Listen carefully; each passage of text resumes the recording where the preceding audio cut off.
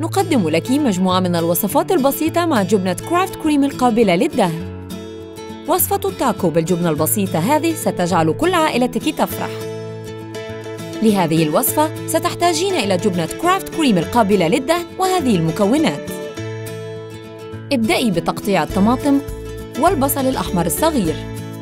ثم ضعي شريحتين من لحم الديك الرومي في كل صدفة.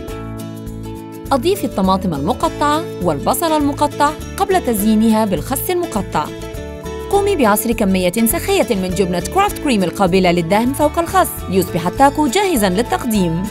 ستجدين وصفة التاكو بالجبنة السهلة التحضير هذه على صفحتنا في الفيسبوك. انضمي لنا واستمتعي بالطعم الأصلي لمزيد من المرح.